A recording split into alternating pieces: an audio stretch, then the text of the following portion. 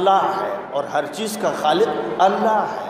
उसको पढ़ो, उस पर गौर करो, उसकी गहराई में उतरो, उसकी वसतों को नापने की कोशिश करो, क्योंकि जितनी भी मखलूक़ात हैं और इस कायनात में जितनी चीज़ें हैं, सब अल्लाह की मारफत का ज़रिया है।